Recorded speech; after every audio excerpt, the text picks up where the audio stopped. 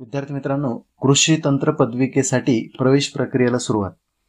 तर कृषीशी संदर्भात किंवा ॲग्रिकल्चरशी रिलेटेड असे जे काही कोर्सेस आहेत तर त्यामध्ये कृषी तंत्र पदविका हा एक म्हणजे डिप्लोमा ज्याला म्हणतो आपण. तर या संदर्भात आता एक नोटीस किंवा प्रवेश अर्ज वगैरे कधी मिळणार काय या संदर्भातली एक ॲग्रोवनला बातमी आलेली आहे.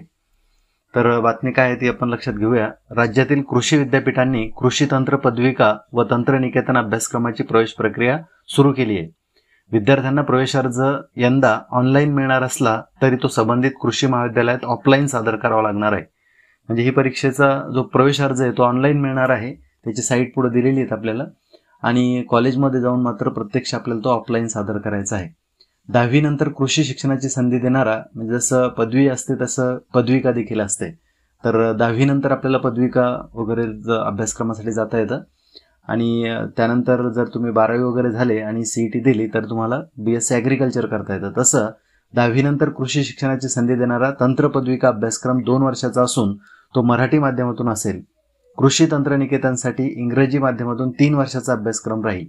आरक्षित प्रवर्गासाठी प्रवेश अर्जाचे शुल्क दोनशे रुपये तर खुल्या गटासाठी चारशे रुपये आहे. प्रवेश घेतलेल्या विद्यार्थ्याने सात दिवसामध्ये शाळा सोडल्याचा दाखला सादर न केल्यास प्रवेश रद्द केला जाणार आहे. शेतकरी कुटुंबातील विद्यार्थ्याला बारा टक्के गुणाचा अधिभार मिळण्यासाठी ताजा सातबारा उतारा द्यावा लागेल. विद्यार्थ्याचे पालक भूमिहीन शेतमजूर असल्यास नायब तहसीलदाराचे प्रमाणपत्र जोडावे लागणार आहे. महात्मा फुले कृषी विद्यापीठाची तंत्र पदविका व तंत्रनिकेतनची ऑफलाईन प्रवेश प्रक्रिया नऊ सप्टेंबरपर्यंत चालू असेल. म्हणजे नऊ सप्टेंबरपर्यंतच ही प्रक्रिया चालत राहील ऑफलाईन पद्धतीने चालू राहील. त्यासाठी W W W dot M P K V dot in या संकेतस्थळाची मदत विद्यार्थ्यांना घेता येईल. तर हे संकेतस्थळ आहे की ज्यावरती तुम्हाला प्रवेश अर्ज वगैरे उपलब्ध आहे. अर्ज छाननीनंतर किंवा गुणवत्ता यादी जाहीर झाल्यानंतर तक्रार उपस्थित झाल्यास आपली तक्रार सादर करू शकतील. यासाठी प्राचार्याच्या अध्यक्षतेखाली प्रत्येक महाविद्यालयात निवारण समिती स्थापन करण्यात आलेली आहे.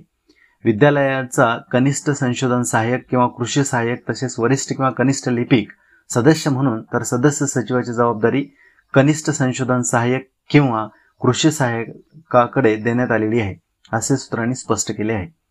आता प्रवेश शुल्क वगैरे कसे असतील ते पहा. अनुदानित जर असेल तर प्रथम वर्षाचं सोळा हजार नऊशे तीस आहे. द्वितीय वर्षाचं सोळा हजार नऊशे आहे. विनाअनुदानित जर असेल तर तेवीस हजार नऊशे तीस रुपये आहे आणि द्वितीय वर्षाचं सव्वीस हजार नऊशे रुपये आहे.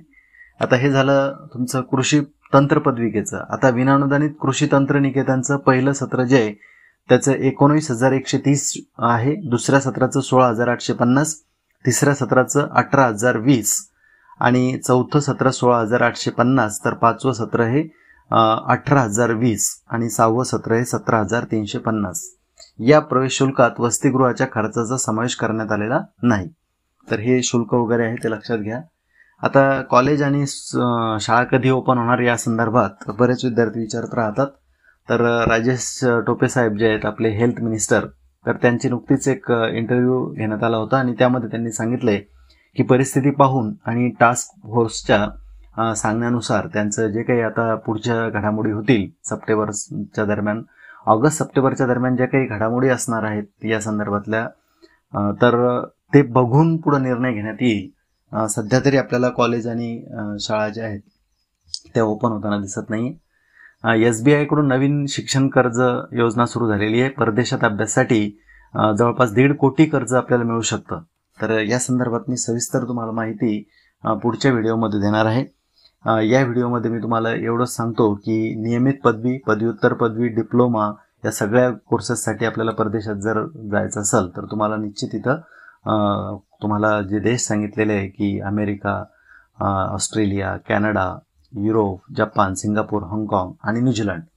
तर आपल्याला जवळपास सात साडेसात लाखापासून म्हणजे कमीत कमी साडेसात आणि जास्तीत जास्त एक लाख पन्नास सॉरी एक म्हणजे दीड कोटी रुपयाचं कर्ज आपण घेऊ शकतो.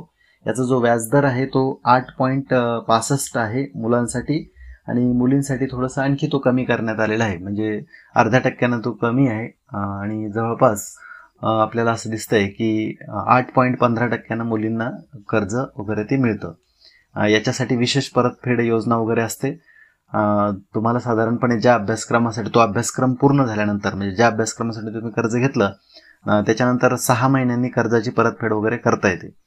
तर या संदर्भात आपण आणखी डिटेलमध्ये सर्व माहिती काढू. कर्जाची पात्रता काय आहे कशा पद्धतीनं याची सगळी डिटेल माहिती मी तुम्हाला पुढच्या व्हिडिओमध्ये देणार आहे.